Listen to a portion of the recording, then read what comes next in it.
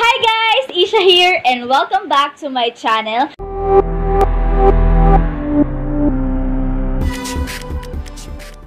Today's video, mag-unbox ako ng aking in-order sa lazada.com.ph.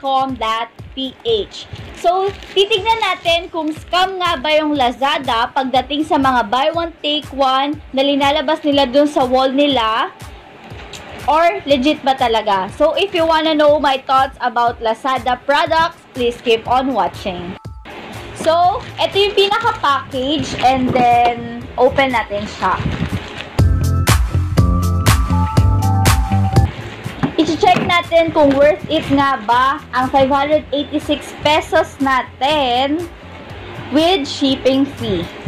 So, ito yung laman ng package. Naka-bubble wrap siya ng ganyan lang.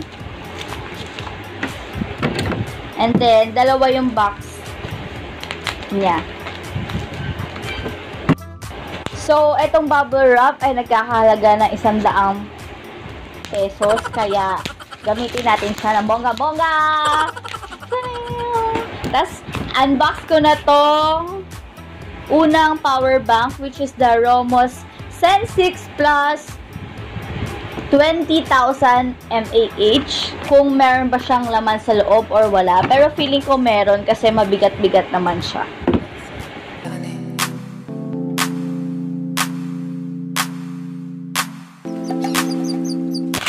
So, itong plastic nagkakalaga 5 piso isa.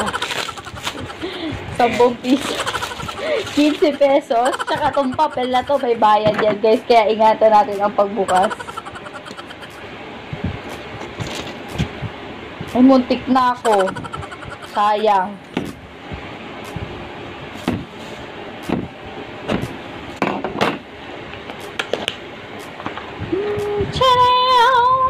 Wow, may laman nga siya.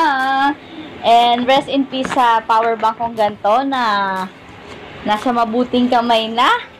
Kaya ako bumili ng bago. So, meron na siyang kasama, cable, and then yung mismong product niya.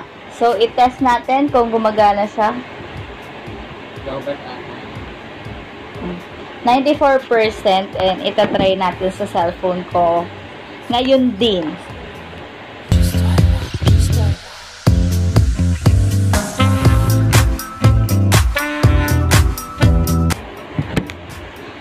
So, ayun nga po, gumagana nga po siya.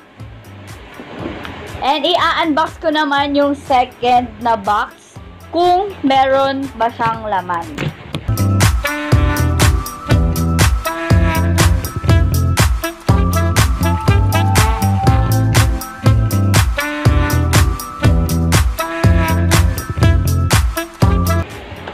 So, ito yung pangalawang box. Meron din siyang same alangan. Same product din siya kasi nga buy one take one tong power bank na to.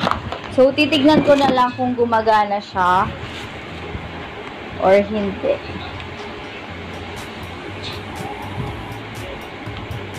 So, yun, gumagana din siya, guys. So, ito yung pinaka power bank niya. Full white siya kasi walang available na ibang color. Ang ang pangit lang dito is mabilis siyang madumihan. Pero ganito na kasi yung power bank ko noon na nawala. Kaya subok ko na talaga tong Romos na pangmatagalan talaga siya. And ilang beses na nabagsak yung akin, buhay pa rin siya. Nasa mabuting kamay na nga lang. Char. So, ayun nga guys, i-update ko kayo sa mga next na mangyayari dito sa power bank na to kung kakaiba ba to doon sa last time kung power bank or same lang sila ng quality. For 586 pesos naman, masasabi kong okay siya kasi dalawa na. Ang original price nito is 999 pesos each. Naka-sale lang siya. Ilalagay ko dito ang kanilang Lazada account kung saan ko sila binili and bibigyan ko rin sila ng magandang review sa kanilang page. So, masasabi kong legit nga talaga ang buy one, take one promo ng lazada.com.ph kasi nga ito nakikita ko naman sa aking harapan na meron ngang dalawang product na dumating sa akin para naman sa mga nagtatanong sa kanilang shipping, Ang shipping nila ay sobrang bilis lang guys. As in, umorder ako ng 23. Dumating agad siya kanina, July 24 ng tanghali.